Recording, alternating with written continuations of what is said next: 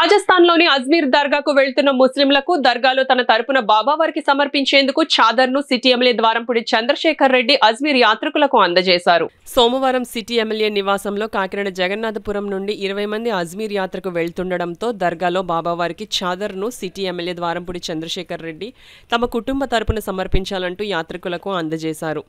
ఈ సందర్భంగా ఎమ్మెల్యే ద్వారంపూడి చంద్రశేఖర్ రెడ్డి మాట్లాడుతూ అజ్మీర్ దర్గాను ప్రతి ఏడాది వెళ్ళి సందర్శించుకోవడం జరుగుతుందని ఈసారి కాకినాడ నుండి అజ్మీర్కు వెళ్తున్న వారికి తన కుటుంబ సభ్యుల తరపున చాదర్ని ఇవ్వడం జరిగిందని అన్నారు.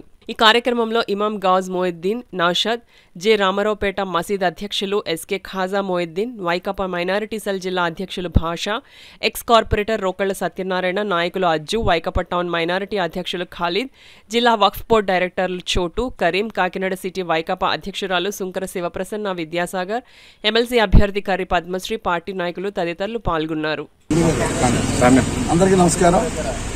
ఈరోజు మన కాకినాడ పట్టణం నుంచి సుమారు ఇరవై మంది అజ్మీర్ వెళ్తున్నారు అజ్మీర్ దర్గాకి. సో వాళ్ళు వెళ్తున్న సందర్భంగా అందరికీ కూడా సెంటిమెంట్ నేను గతంలో ఎమ్మెల్యేగా గెలిచినప్పుడు కూడా అజ్మీర్కి వెళ్ళడం జరిగింది దర్శించుకోవడం జరిగింది.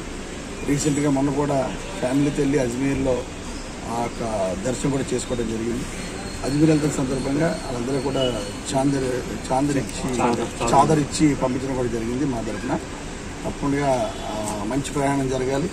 అజ్మీర్లో మంచి దర్శనం అవ్వాలని మనస్ఫూర్తి కోరుకుంటూ వెళుతున్న వాళ్ళందరికీ కూడా ప్రయాణంలో బాగా జరిగి చాలా ఇంటికి రావాలి. నేను ఇప్పుడు వెళ్ళటం కుదరట్లేదు కాబట్టి నా తరఫున పెద్దలందరూ కూడా చాదర్ సమర్పించడం జరిగింది. నా పేరుతో నా కుటుంబం ద్వారా వీళ్ళకి అక్కడ వెళ్ళటం జరుగుతుంది చాదర్. తప్పకుండా మరలా అల్లా దయ ఉంటే మళ్ళీ ఇంకొకసారి అజ్మీర్ కూడా వెళ్ళి మళ్ళీ దర్శనం తీసుకోవడం కూడా జరుగుతుంది.